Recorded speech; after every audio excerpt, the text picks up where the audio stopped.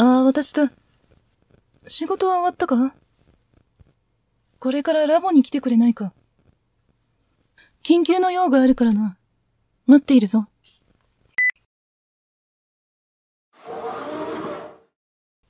ああ、来たか。用事というのはな。これを味見してみてくれ。ああ、これは、これは非常食の試作品だ。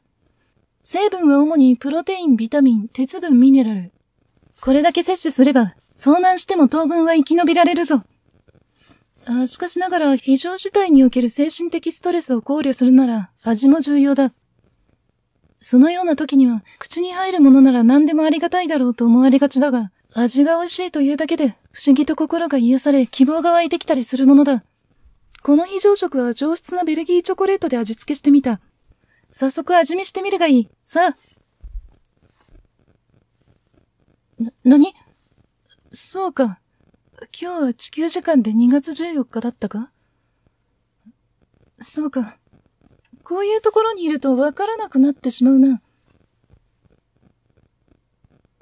違うこれは、これは別にその、お前に手作りチョコを食べさせたかったとかそういうことではなくてだな。最近探索用の小型艇が行方不明になる遭難事故があったからな。それで非常食というものを研究してみようと。ああ、その、うーん、なんでもいいから食べろ。ほら、試食しろ。ほら、もっとだもっと食べろああ、だが安心しろ。万一お前が遭難した時は、私が宇宙の果てまでも探しに行ってやるからな。ああ、いえ、その、部下の安全は私の責任。そうじゃなくて、ああ、その、か、勝手に私の前から消えることは許さん。